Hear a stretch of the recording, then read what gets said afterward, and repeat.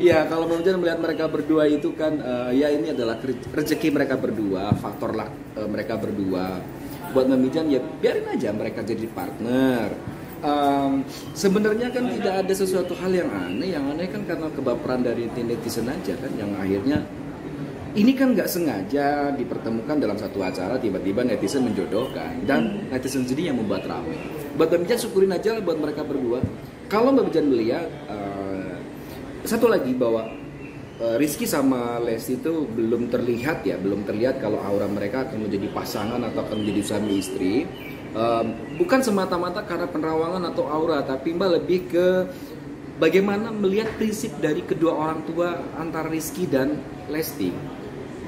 Uh, kedua orang tua Lesti terutama memang fokusnya di pendidikan, kemudian fokus di karirnya. Lesti masih sangat muda, jalannya masih sangat panjang. Hmm. Begitupun dengan seorang Rizky.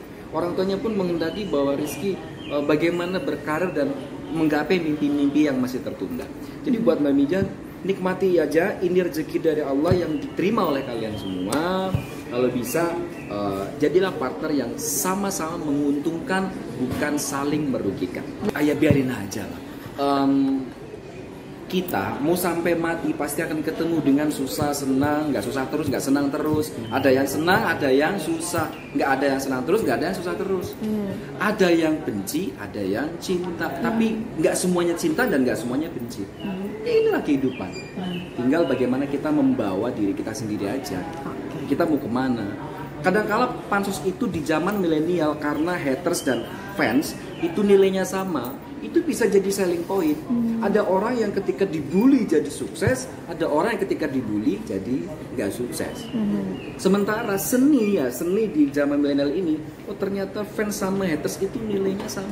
Kayak kayak misalnya dengan banyaknya hujatan, panen dolar. So what? Hmm. Keren, hmm. selling point itu yang keren.